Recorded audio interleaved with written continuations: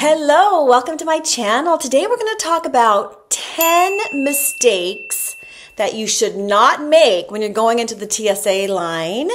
And my name is Roseanne. For those of you that are new, thank you and welcome to my channel for you and all of my wonderful subscribers. Thank you for joining me today. You know, we are approaching Thanksgiving. A lot of people are going to be traveling. And so it's really a good time to remind everyone who's going to be traveling how to get through the TSA line without any issue. So first things first, when you're going through the security line and you don't have TSA pre-check, you're going to have to remove a lot of your layers. And this is cold time, the winter time. You want to make sure that when you're going through security, you aren't jumbled up with a lot of bulky, difficult items. So for example, if you have a sweater and a jacket and you have everything all tied up, you have your purse around your, um, you know, as a messenger bag, make sure that you start to take things off when you get towards the top, the front of the line, because when you are all wrapped up, it's really hard and you have to remember that there's a lot of people in line. So try to think about that to try to make sure that your outfit is easy to get through and that includes your shoes. Make sure that when you're going through the security line, you're going to have to take your shoes off. So be cognizant of that and um, so that you can take those shoes off nice and easy and that you can get through that security line quickly. And of course, that's a pitch for TSA pre-check because then you don't have to take off your shoes and you don't have to take off a light jacket. You'll have to take off the big bulky one. But that's just something um, to remind you of.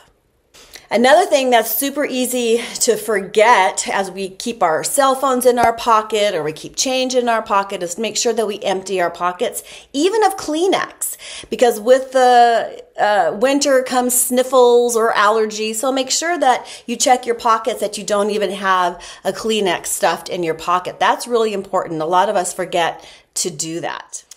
Now, we need to remember not to bring prohibited items. And what are prohibited items? There are so many, really, but just some are such as ammunition. Don't bring ammunition on the plane. Don't bring lighter fluid.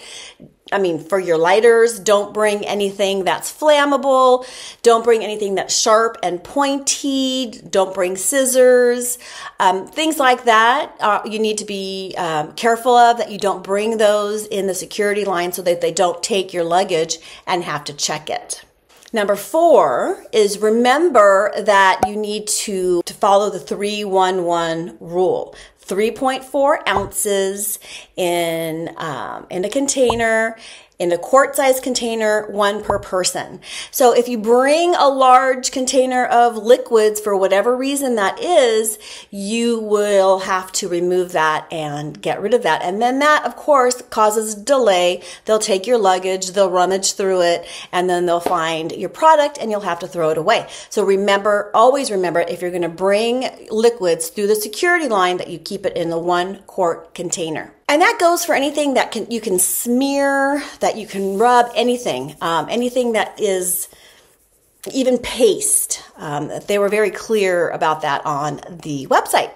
Another thing that you want to make sure when you're getting into the security line is that you have your ID and your boarding pass. But sometimes you don't need your boarding pass because now they're just taking your ID and it goes through the system and connects to your boarding pass and lets you go through.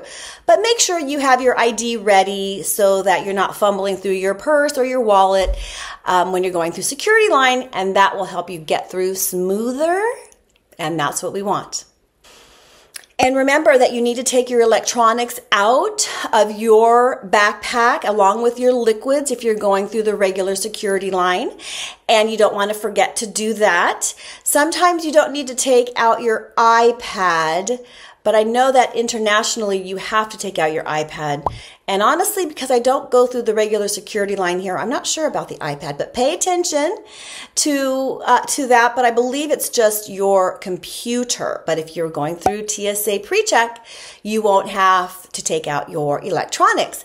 And I know that airports um, across the country, um, they're all going to have that new updated uh, x-ray machine that we use when we go through TSA pre-check. So things are going to eventually roll out. That'll be a lot smoother. But for this point in time, right now, if you don't have TSA pre-check, you're going to have to take your electronics out.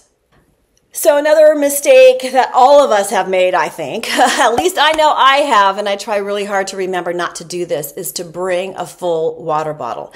So now I bring my water bottle with me when I travel, and so I have to make a cognizant effort I have to really think about this to make sure I dump my water out before I bring it through the TSA pre-check line. And they're always reminding you, make sure you don't bring water. And sometimes inevitably someone has a bottle of water in their suitcase or in their purse or whatever it is. So just remember that you need to make sure that you don't have a full bottle of water.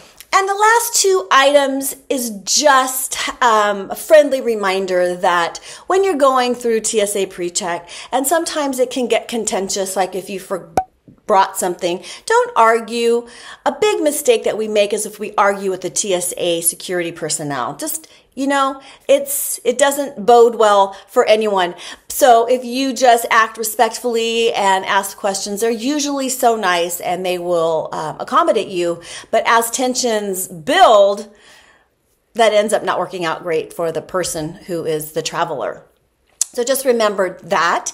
And also remember that it's always nice to get to the airport early. I, have said this so many times.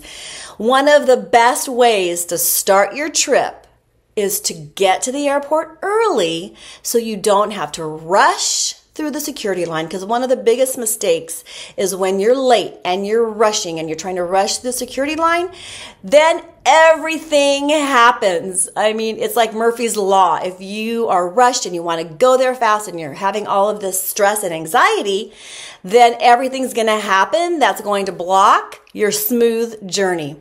But if you get there nice and early and you feel, you know, like this is easy and anything that happens, you've got it handled, then things end up working out much, much better.